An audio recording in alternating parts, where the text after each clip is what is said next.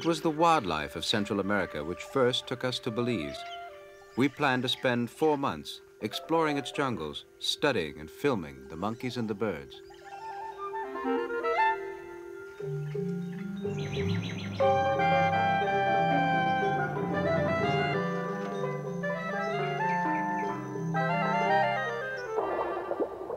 We were also hoping to film those rare sea mammals, the manatees. Watch fish on the second largest barrier reef in the world.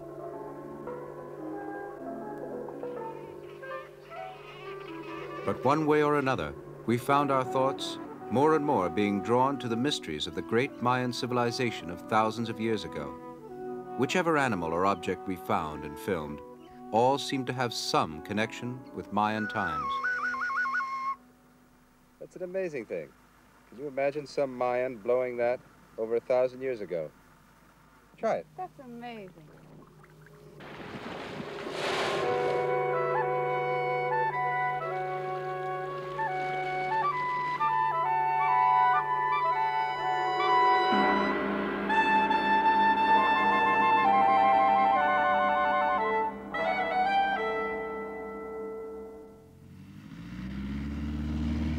Our base was Belize. It used to be British Honduras, a tiny country with but few good roads. Ford Young, a local naturalist, gave me my first view of the country while Ann took care of provisions. The coastal area of Belize is flat swampland and mangroves. Moving west, the ground rises slowly, giving way to scrub forest and jungle. Once across the coast, we dropped down to fly low over the rivers. These rivers cut across Belize in a number of places and were until recently the major system of communication. Ford made a pass over two of the few remaining jabiru stork nests in Belize. For ease of landing and takeoff, these huge, rare birds nest only in the tallest trees.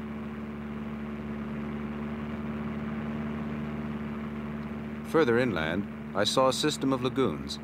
These flooded areas act as a reservoir which fills in the wet season and drains slowly into the lowlands in the dry. The most important reason for this flight, though, was to try and locate a manatee, and Ford kept a sharp lookout on the way back.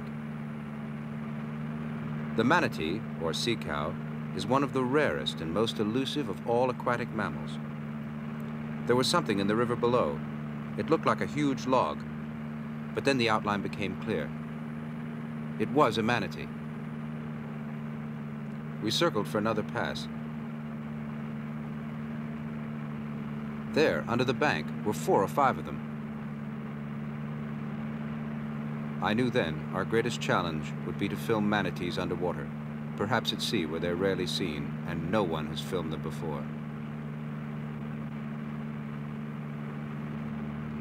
All this time, Ann was back in the city of Belize, stocking up for our expedition.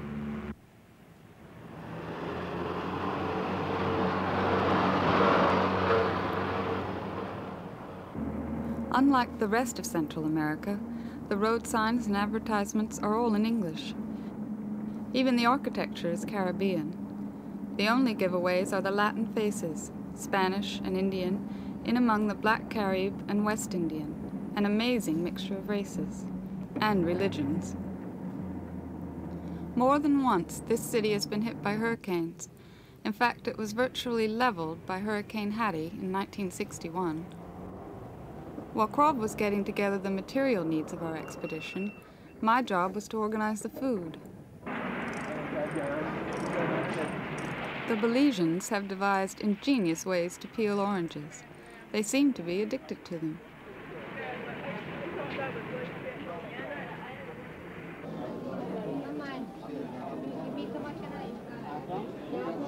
The market was fascinating for me, a totally new experience.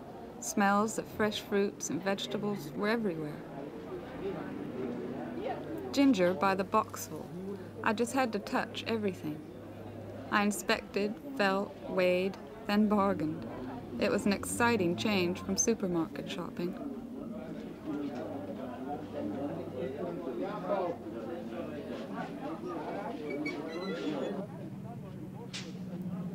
Beautiful papayas were just one of a whole variety of locally grown tropical fruits. And they cost only pennies compared to their prices elsewhere.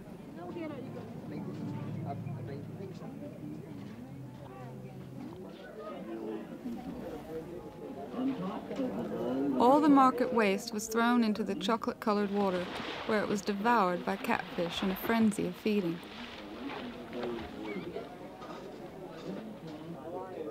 I certainly wouldn't want to swim just there.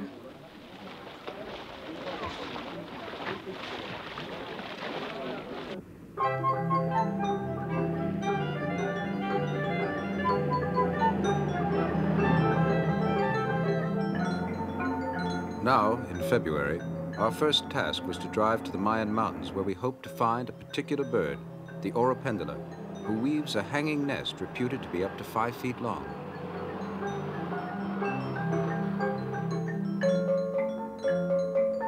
Our journey took us into the great watershed area, where the scrub pine forests of the foothills give way to the thick jungles typical of Central America.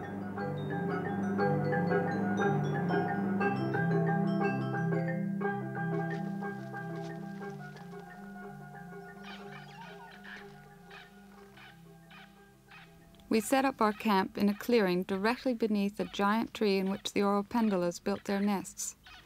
The colony above us confirmed everything we'd heard, including the burbling call of the male.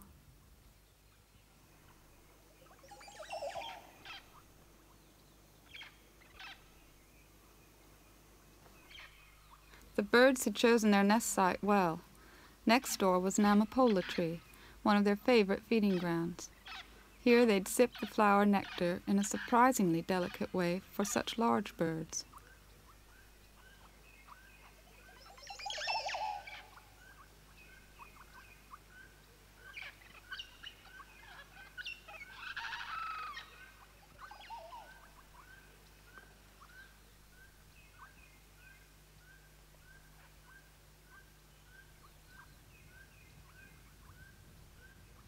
We had learned that the giant ceiba tree was sacred to the ancient Mayan inhabitants of the area, for it supported their heaven.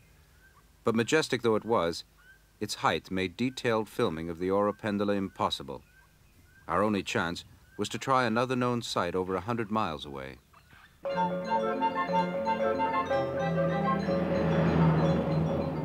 We headed across the border into Guatemala, for the site we'd been told about was in the ruins of the ancient Mayans' greatest city, Tikal.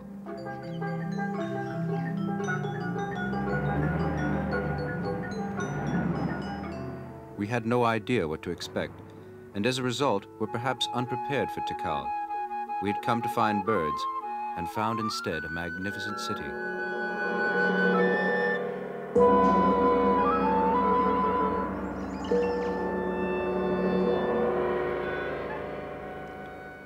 Kind of daze as we climbed one of the massive pyramids to look for our birds.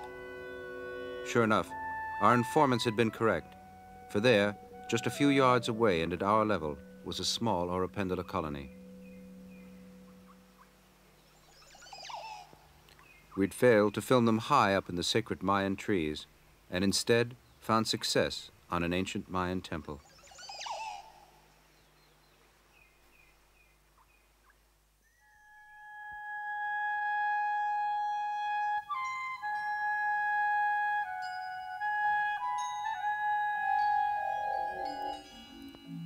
Our first dawn at Tikal was magic. Here in the jungle, well over a thousand years ago, the Mayans built these monuments to their gods.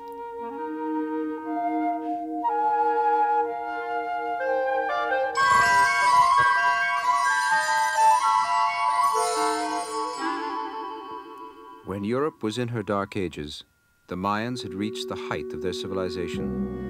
They had the most advanced writing in the Americas and mathematics that allowed them to count into the hundreds of millions. All this, it would seem, to keep track of time, for time was their passion.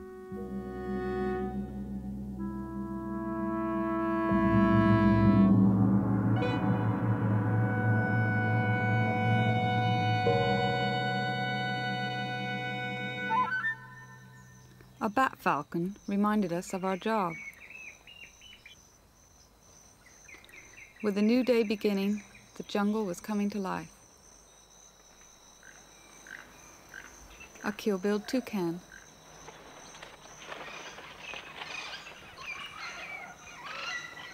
Mealy-headed parrots, the jungle's loudest inhabitants, squabbled continuously.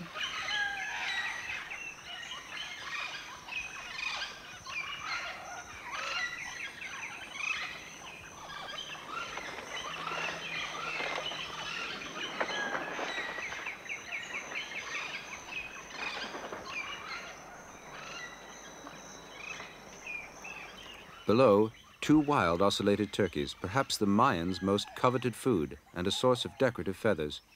Once they may even have been domesticated.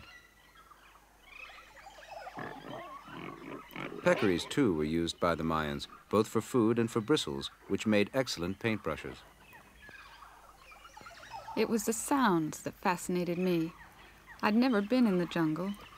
It was so thick I couldn't see through it, but its sounds made it really live.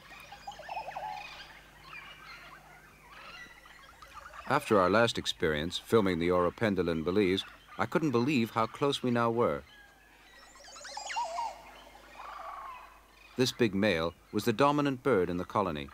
Bowing with wings spread and yellow tail displayed is characteristic of the male and serves as a courtship call amongst other things. From time to time, he would jump about the colony, checking out the nest the females were building. As far as we could see, he was the only male around.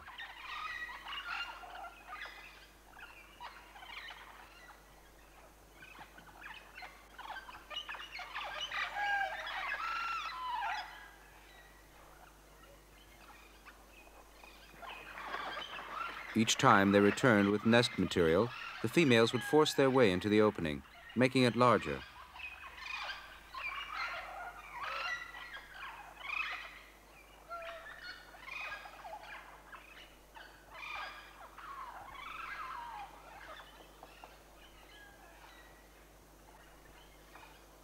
Another part of the colony, one female had just begun construction, carefully preparing an anchor which would hold the long hanging nest.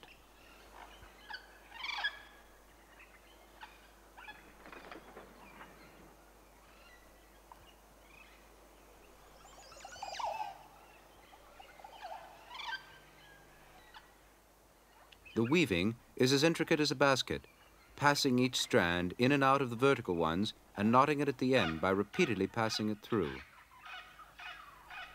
The same kind of weaving is used in the anchor, usually spread between a fork of branches.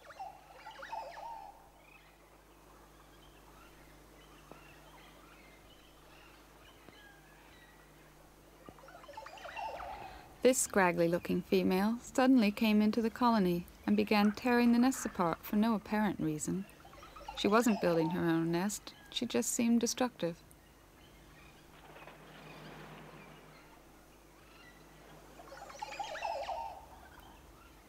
Finally, the big male chased her off and checked out the damage.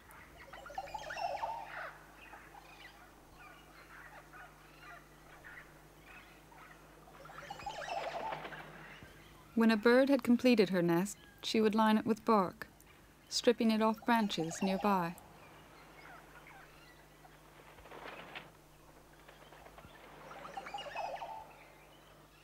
Fascinating as the Oropendolas were, we found ourselves being drawn more and more into the mystery, the enigma of the Mayans. It seemed that everything we did was associated with the ancient Maya. Even on these stones, the delicately carved figures are decked out with the feathers of birds that are still around today.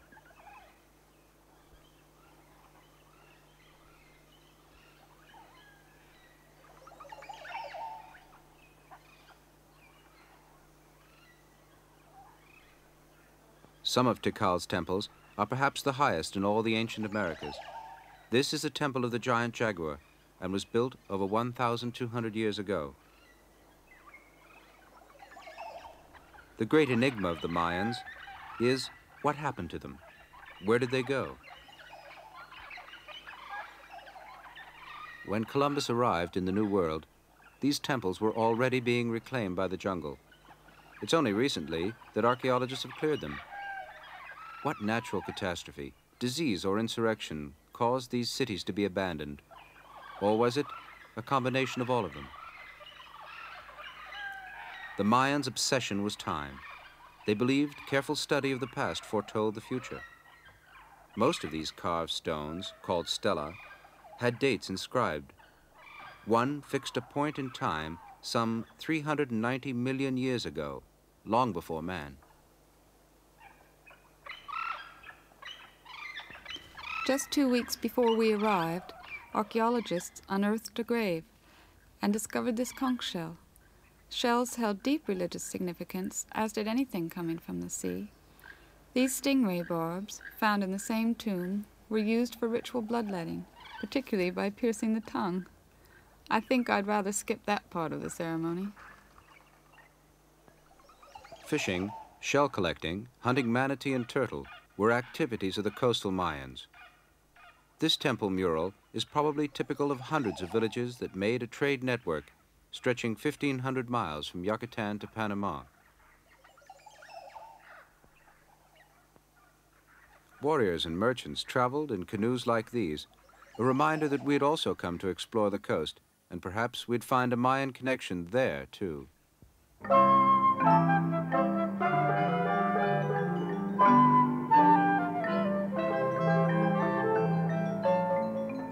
First objective was to film the offshore schools of black snapper. But most of the fishing boats were sheltering in the harbor. If the wind continued, there'd be no fishing or diving outside the reef. My only previous glimpse of the reef had been on my first aerial survey. The barrier reef is the second longest in the world, and to see the fish schooling, we'd have to dive on the outside of it where the bottom in many places drops away almost vertically. But our main problem was going to be the wind and the surf pounding on the reef.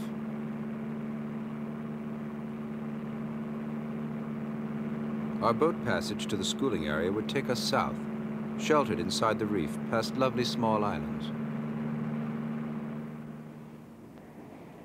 This fishing village, perched on the reef, is a thriving community for just two weeks each year in January. It's then at the grouper's school. But now, in March, we were to head further south for the black snapper. We set up camp on a beautiful little island called Buttonwood Key. It was still blowing too hard to dive, and no fishermen had arrived in the area. The snapper was supposed to school at the time of the full moon. We still had a couple of days to spare, but even if the wind dropped, the sea would probably stay rough. At last, one fisherman arrived. Perhaps he felt a change in the weather was coming.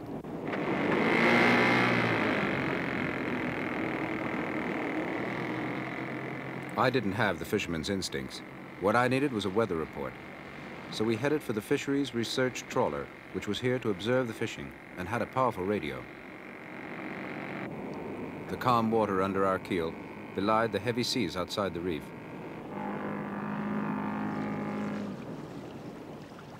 The best forecast in the area comes from the American Coast Guard station on Swan Island, about 600 miles away. They broadcast each day at noon. As issued by the National Weather Service in Miami, the Caribbean Sea synopsis, a high pressure ridge north of the Caribbean will move little through Saturday. The forecast for the northwest Caribbean Sea, easterly winds 15 to 20 knots through Saturday, seas 4 to 7 feet a few showers. This concludes the weather broadcast for the day. HRK 6 Charlie, this one radio will be on the air tomorrow at 12.05 p.m. Eastern Standard Time.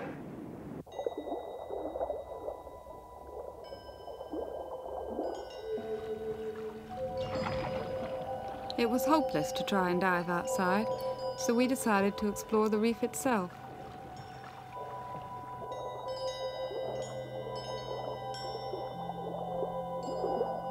Very few sections of this reef have ever been explored, and though we felt disappointed in not being able to dive outside, we were excited about what we might find here. This reef is typical of the Caribbean. Brain coral, staghorn, rose coral are a few of the hundreds of corals that seem to thrive here. One thing we noted was diseased coral. This brain coral is being eaten by a black band of bacteria, which destroys the tissues. This has been reported in Bermuda, 2,000 miles away, but as far as we know, no sightings in the Caribbean have been publicized. I swam over this before realizing what it was. Hidden under perhaps 200 years of coral growth was an old ship's cannon. It could be Spanish or English, and we marked its location for the future.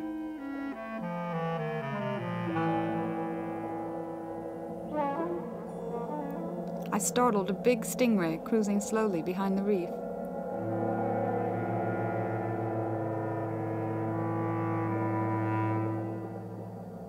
As I swam closer, I could only think of the barb nestled in his tail.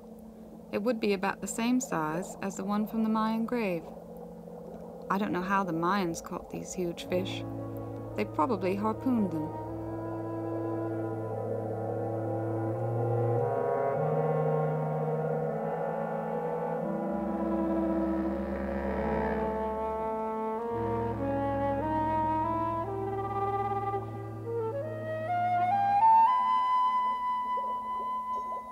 Dinner was easy for us to get. Krov would catch a fish, and I would gather some conch. These shells house a delicious animal which has been used since Mayan times both as food and bait for fishing. This small conch was exactly like the one from the Mayan grave. Again, we'd found a Mayan connection linking us with the past. Aboard the fisheries boat, conch was being broken out of the shell. First a hole is made at the base of the animal's muscle. Then the muscle is severed, allowing the animal to be pulled from the shell. This method has changed little since Mayan times.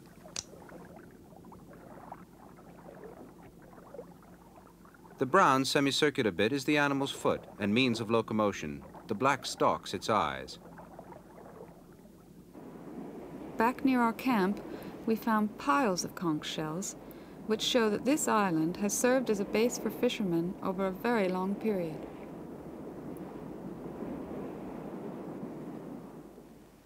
The fishermen, too, had failed to get their snapper. But their philosophy was, if not this month, then next.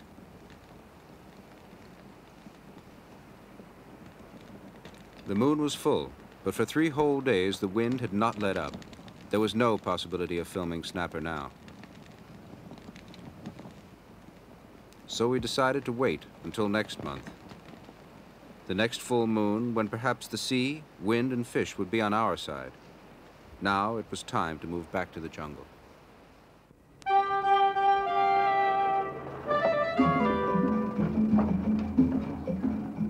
Few bridges exist in this part of the world.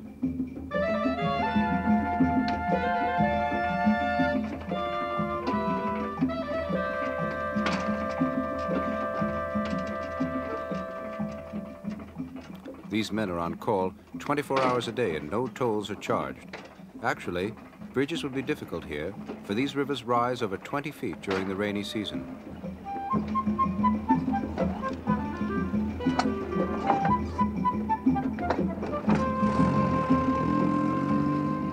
Our plans were to visit the waterbird rookeries.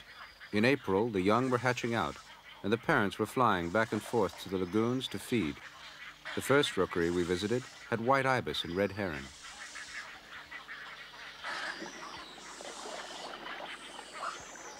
In the first nest were three red heron chicks.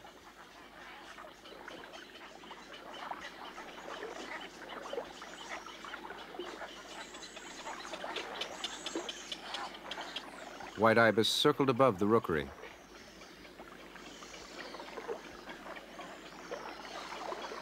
Some of their chicks, which at this age are much darker than the adults, seem to be doing well, but we noticed a surprisingly high mortality rate. The roseate spoonbill rookery was supported entirely by mangroves. Red herons were there too. The spoonbill nests were well hidden in the branches and hard to find. Above us, one adult bird called in alarm.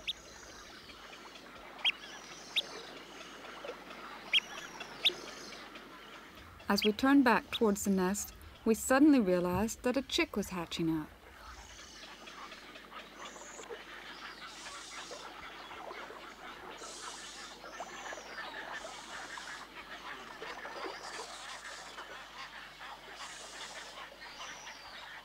All around the we found evidence of shooting, perhaps partly accounting for all the dead chicks. These shotgun cartridges were left by hunters, many of whom we later discovered had shot these birds just for the sake of killing them. It was impossible to think of destroying so beautiful a bird for any reason. The last rookery was the wood-storks, perhaps the noisiest of them all.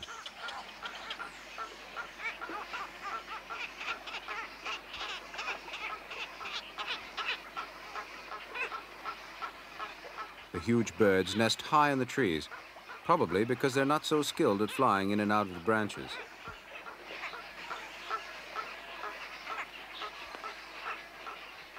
The constant wind, which had affected our diving expedition, was much in evidence here as these enormous storks fought for balance.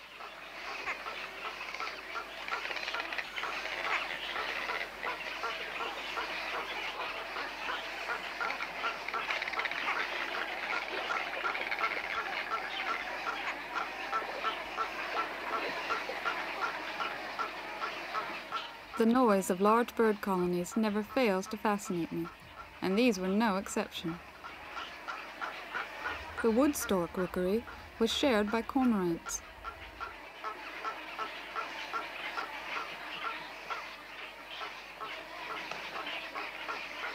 as well as beautiful white egrets. But soon all these birds would disperse, first feeding in the still flooded lagoons. It seems the storks don't actually migrate in the long-distance sense of their European cousins, but they do move about a lot within Central America, and the Crooked Tree Lagoon in northern Belize was one of their favorite places. We rigged our rubber boat as a hide, but somehow it looked more like a new naval secret weapon. It worked, though. Camouflage was a must, for these birds are hunted and are very suspicious. They would arrive early, before dawn, and spend the whole morning working their way down the lagoon.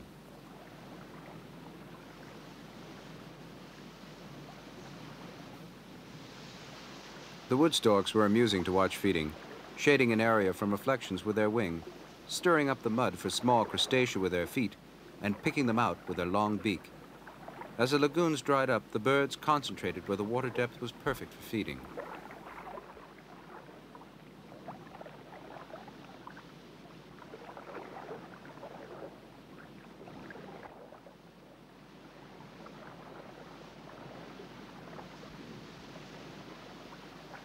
The great egrets shared the same area with the woodstorks. Once they had covered an area, they would then move down the lagoon to a new one.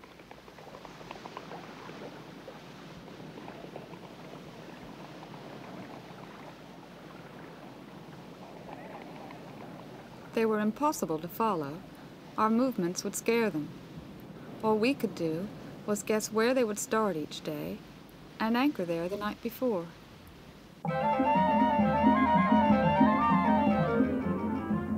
By now, the Oropendola would have finished building their nests, so we decided to make the long journey back to Tikal. On our way, the sky was virtually obscured by smoke haze.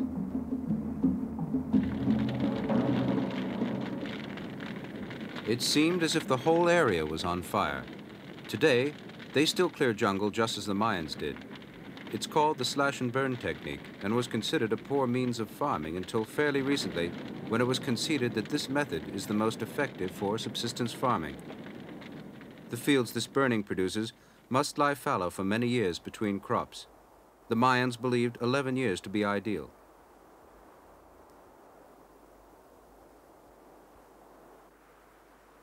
Some of the trees are nearly fireproof, like this Cohune palm. Today, man fells it with a few strokes of a sharp axe. The early Mayans had only stone tools. The seeds of this palm make a rich oil, and the husks a charcoal so effective as a filtering agent that it is used in the space program.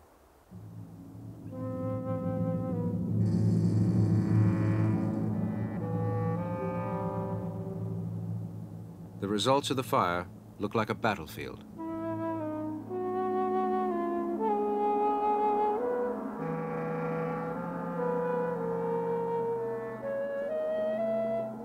Even at midday, the sun was covered by a smoky haze, and this went on for over a month.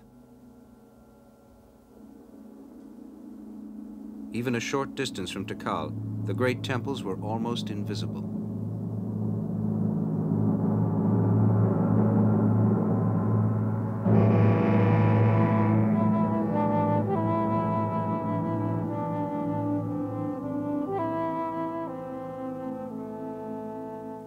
That the dry season was well advanced, the leaves had gone, and the Oropendola nest stood out plainly against the bare branches.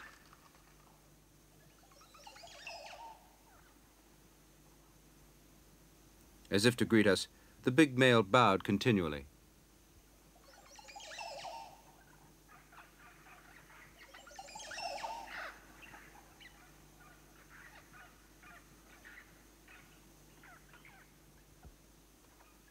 The nest we had seen in the first stages of construction was complete, and we could only imagine the young Oropendolas deep in its bark-lined bottom.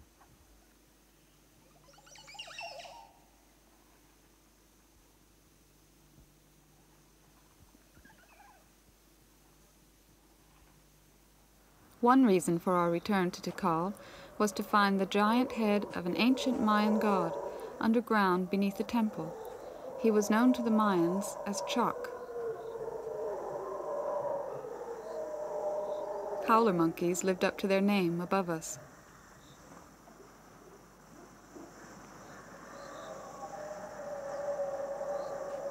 There were four Chaks, one at each corner of the world. They were responsible for rain on their good side, hail, floods, and crop disease on their bad.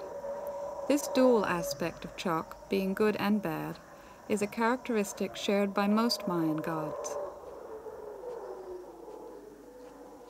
Spider monkeys shared the jungle canopy with the howlers.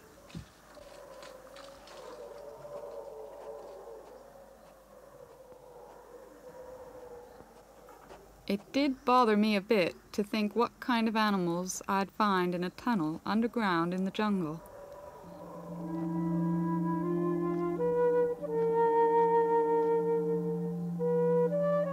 Surprisingly, it was dry, but thick with flies. I heard the squeaking of a bat up ahead.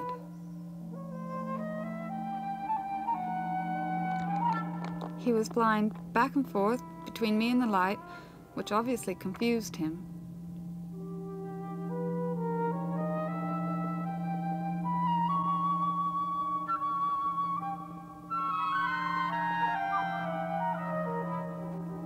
The left side of this tunnel was actually the wall of some long lost temple which the Mayans had built on top of with a new one.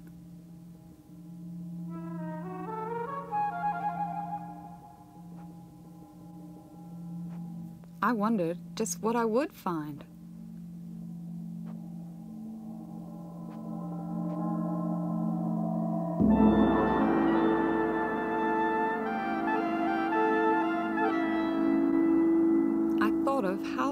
Been underground, for originally he was on the outside of the old temple.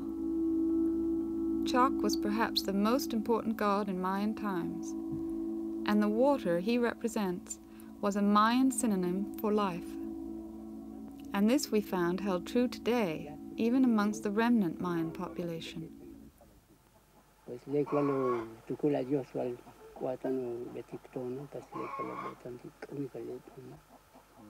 An old Mayan, one of a handful that remained compared to the millions that lived long ago, told us he worried about the possibility of a drought, for the rains were late this year. Through an interpreter, he also told us that lack of water was the reason why his ancestors had left their cities and dispersed. The time for planting was critical, he said. The short rains that nourished the corn seed had not come, and he was worried that the heavy rains would arrive suddenly and wash away what they had planted. He demonstrated that even with a fire-hardened stick, it was difficult to penetrate the sun-baked earth. Rice, a relatively new crop in this country, is planted close together. Corn traditionally is sown much further apart. According to temple murals, these Mayan huts have changed little in the intervening years.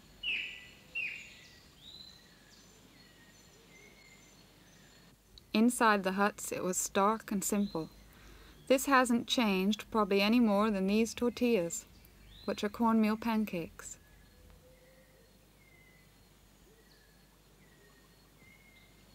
Only the grinder is modern. In the old days, they used stones. Many of the same vegetables, such as gourds like this, were also in daily use by the Mayans.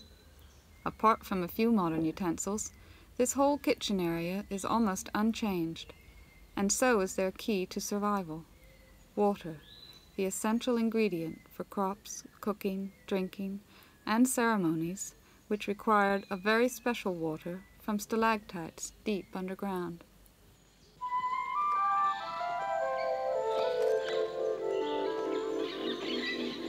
A great deal of the Yucatan Peninsula has a porous limestone crust. Caves are everywhere, as are underground rivers.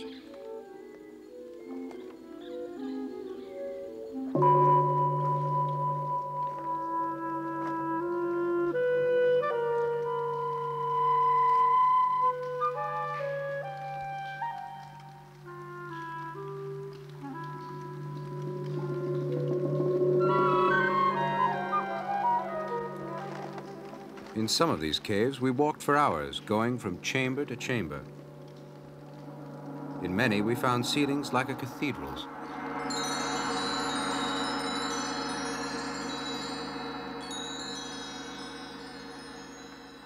In each cave we explored, we found evidence that the Mayans had been there long before us.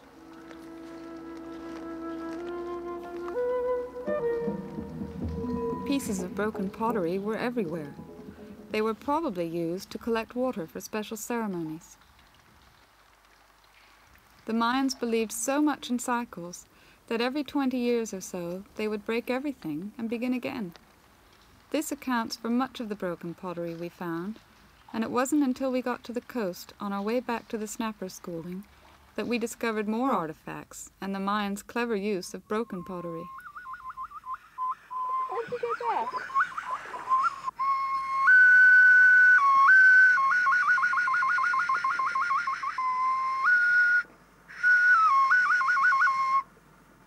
That's an amazing thing. Can you imagine some Mayan blowing that over a thousand years ago?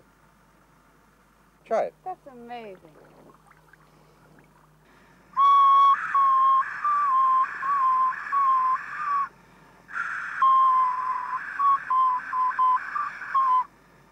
I can't get much out of it. Look, it's got it's got a man on the back. But he's lost his head. He's lost his head, poor fellow. It was a child's What did you find? Oh, these are terrific. Oh, look at them. There's bits of pottery. They must be net weights. For fishing nets. Yeah.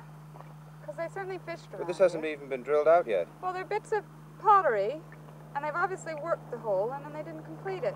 I'll be darned. And, And the other one. these, well, Ooh. they must have tied around them, don't you think? Look at But that. there's masses of them. Oh, this. I was going to show Oh, you Oh, he's that. beautiful. I think it's a manatee. It is. It's, It's a gotta be. manatee. And you Yeah. found him right in the water out here. Yeah. Great. Got caught between my toes. And the big one. And this was our most dramatic find.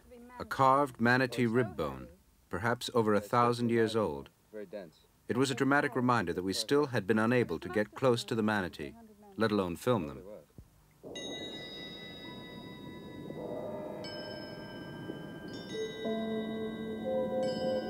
But first, because the moon was full and the sea was with us, it was time again for the black snapper.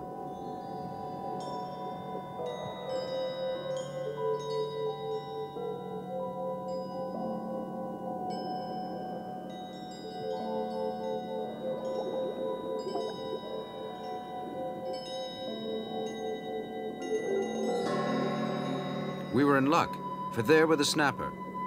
Perhaps the fishermen who told us to wait a month were right.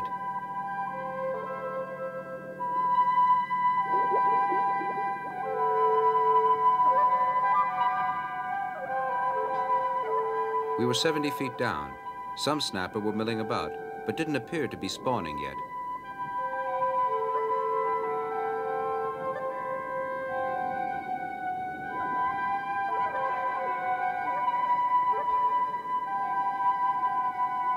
Our plan was to try and find more snapper on the narrow shelf between the reef and the drop-off. If we couldn't find them there, we'd descend quickly to a maximum of 180 feet, for the fishermen had said that they may be deep.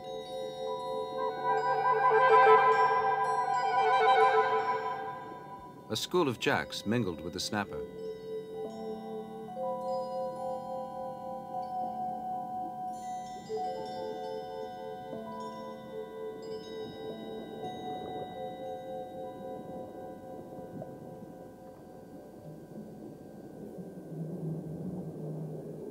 I felt perhaps we were too early.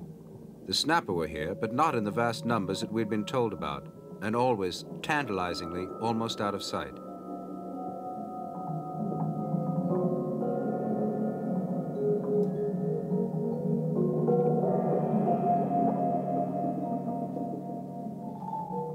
If we lingered about here, it would mean a long decompression. If we were going deep, we'd have to do it now.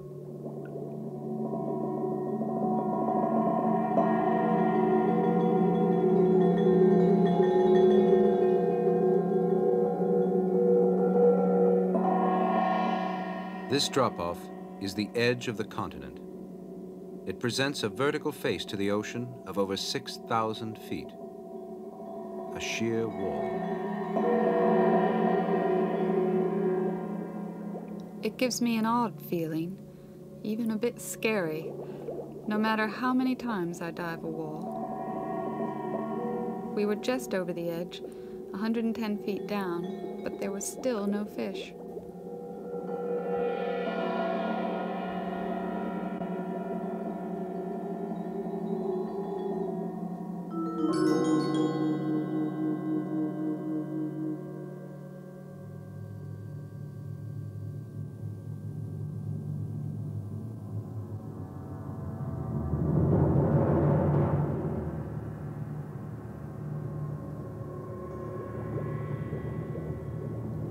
180 feet, we'd reached our limit, for at this depth, breathing air, the mind gets fuzzy, and with each minute, our decompression gets longer.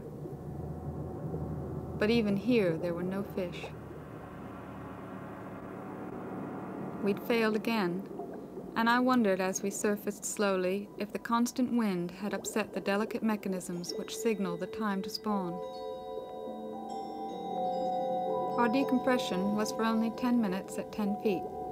Waiting, I thought about our final quest, the manatee. Ford Young was our only hope. If he could spot a manatee from the air within reach of our rubber boat, we'd have a chance. We'd found it impossible to film manatee in the rivers, for the waters were opaque. Our only chance was at sea, where they seldom go. Ford would circle if he found a manatee.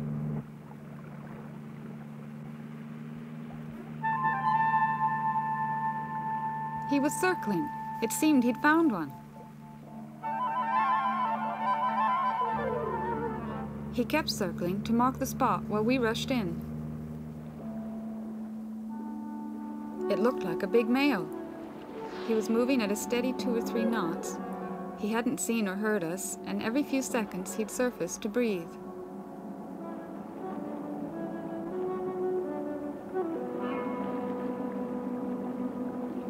It seemed as though our luck had changed. If only we didn't scare him.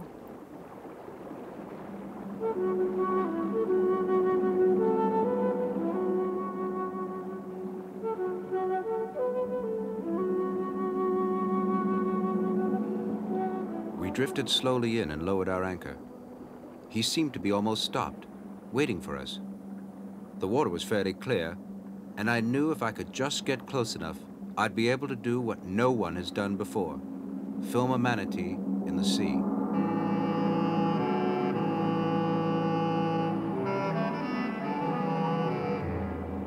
Cautiously, we eased our way into the water. If he sensed us now, he'd be gone, and we'd lose him, perhaps for good.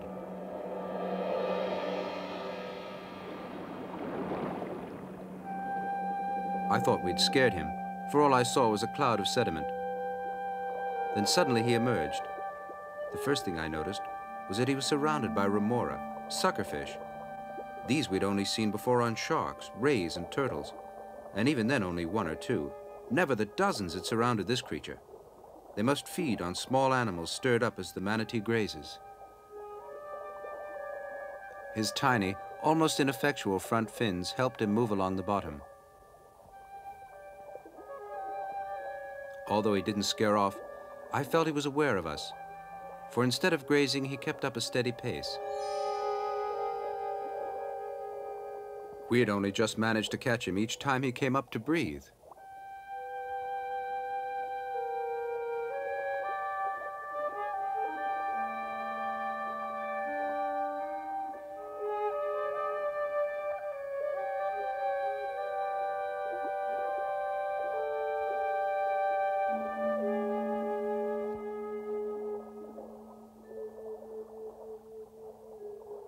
He seemed such a gentle and harmless creature, and it was sad to think that manatee are on the verge of extinction due only to man.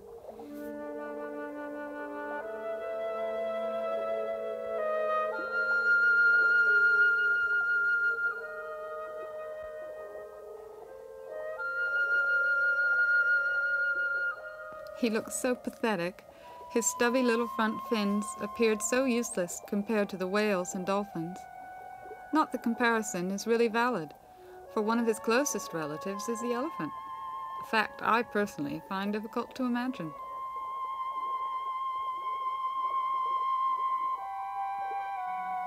I felt he was getting a bit wary now.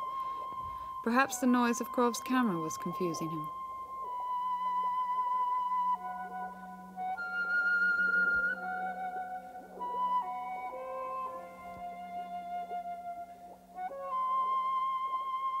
Then, sculling with his great paddle tail, he disappeared.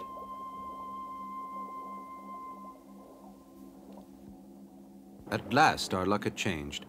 We both felt that the manatee had more than made up for the snapper.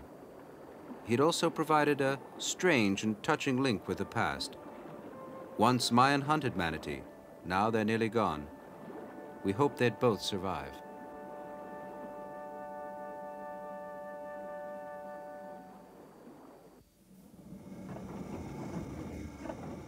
Before we left, the cycle of the seasons was complete. The rains, which had been so long in coming, had finally arrived. The rivers would swell and fill the lagoons once more. For the few remaining Mayans, Chaac had done his job well.